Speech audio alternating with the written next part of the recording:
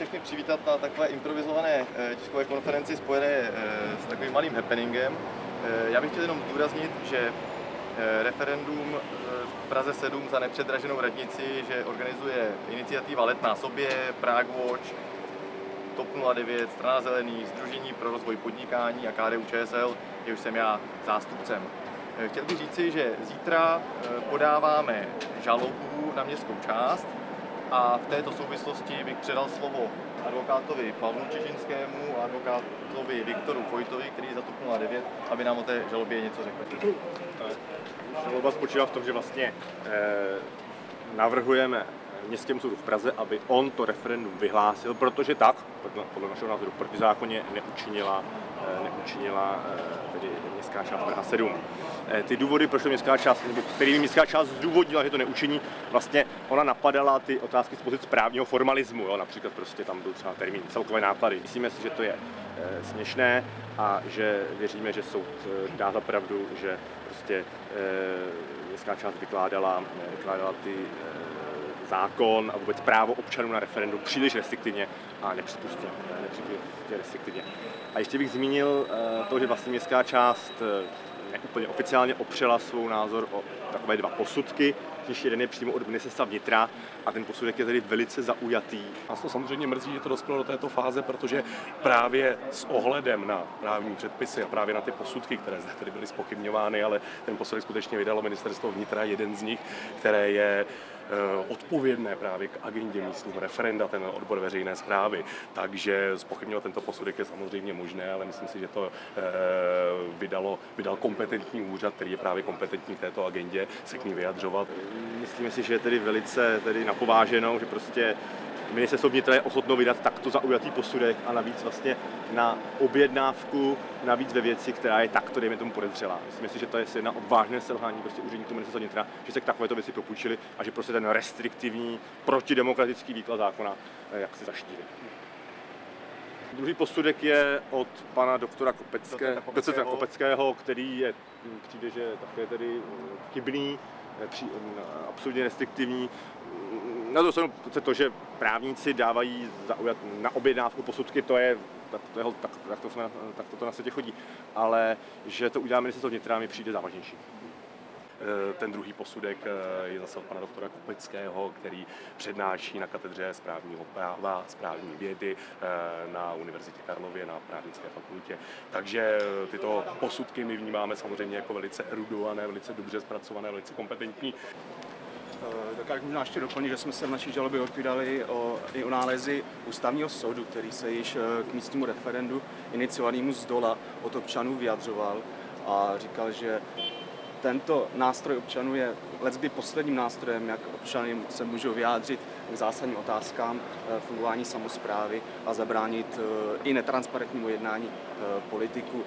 Ústavní soud říkal, že je třeba šetřit podstatu toho místního referenda a e, vykládat to ustanovení, na který odkazovalo usnesení zastupitelstva, kterém odmítali e, nebo zamítli referendum, e, velmi restriktivně. To znamená, že si myslíme, že na základě těchto nálezů stavního soudu by měl Městský soud v Praze vyhlásit to referendum. My vyzýváme starostu, aby se vzdal své funkce, protože vůle občanů byla jasná. 10% občanů chtělo referendum, a výsledkem jednání zastupitelstva bylo, že žádné referendum není. To, že se musíme o referendum soudit, je ostuda a je to známka, že starosta ignoruje přání nebo vůli 10% svých vlastních občanů. Já bych se ještě krátce eh, vyjádřil k těm pokutám, protože vlastně začali, úřad začal vyměřovat pokuty eh, těm, kteří eh, podepsali referendum dvakrát, anebo kteří ho podepsali, aniž by jsou občani Prahy 7. Eh, podle našeho názoru je to opět velmi formální, byť třeba z právního hlediska v pořádku. Eh, dá se to řešit napomenutím, není nutné vyměřovat pokuty a už vůbec není nutné vlastně ty pokuty rovnou vyměřit.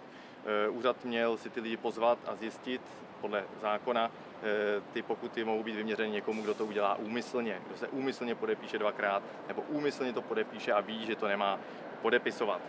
Eh, my to považujeme tu situaci ohledně pokud za velmi vážnou, považujeme to za obdobu vlastně toho stíhání třeba eh, umělce Romana Týce nebo Romana Smetany, který kreslil na ty plagáty. A eh, myslíme si, že třeba jako v, jako v případech Romana Týce nebo Romana Smetany měla zasáhnout například třeba prezidentská milost, tak si myslíme, že by městská část měla vrátit těm občanům ty částky těch pokut vlastně darem, protože těm občanům šlo jenom o to, aby ušetřili městské části eh, značné finanční prostředky. V této souvislosti bychom tady starostovi prostřednictvím tiskového mluvčí tady dali takový, takový pěkný nástroj na nevděčné občany. Je to takový obušek, je to, je to dřevo, dá se to používat obou straně, a to chytnout na jednom nebo na druhém konci, takže a pan starosta už je bude vědět, komu to dál, kdo ty pokuty rozdává. Já děkuji předem. Díky. A potom ještě bych chtěl říct několik věcí. Za prvé, objevil se materiál Nejvyššího kontrolního úřadu, eh, kdy, který vám můžu samozřejmě poslat e-mailem, kdy vlastně Nejvyšší kontrolní úřad má 385 zaměstnanců a plánuje postavit budovu za 433 milionů. Kdybychom to převedli na městskou část, tak by to vyšlo, která má 214 zaměstnanců, tak by to vyšlo na 266 milionů. Takže i kdyby se kupoval pozemek pod argenickou hvězdou za 250 milionů, který i tak je předražený, tak by to vešlo do těch, vlastně kolem těch, 200, par- eh, kolem těch 500 milionů by to, by to bylo. Takže to je jenom důkaz toho, a je to samozřejmě včetně DPH všechno. Takže to je jenom důkaz toho, že ty naše požadavky nejsou nějaké z, nějak, jako z nějakého marzu, že to jsou prostě požadavky realistické. To je všechno a my teďka přesuneme tady ke kanálu a spláchneme, spláchneme e, kopii jednoho archu. Je to arch, kde bylo nejvíce lidí podepsáno. E, je tam 15 míst, ale podepsalo se tam 19 lidí, protože e, ten arch nedostával. A tady spláchneme to třemi kbelíky, na kterými jsou, jsou tyto v barvách politických stran. Je tady modrá za ODS, je tady červená za KSČM a je tady oranžová za ČSSD.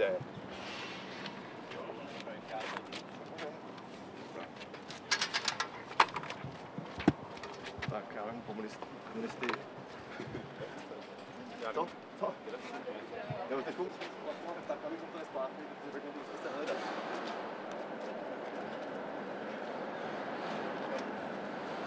Počkej to. To, to, tak, tak. Ale mluvili, mluvili by do to. A můžem pomaličku, doufám, že to tam nespadne.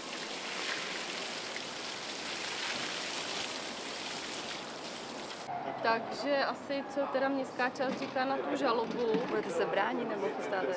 No tak toto je samozřejmě nezadatelné právo kohokoliv, pokud si myslí, že se dělo něco v rozporu s právními předpisy, aby podal jakýkoliv podnět, takže určitě mají i iniciátoři petice toto právo a bude se tím dále zabývat soud.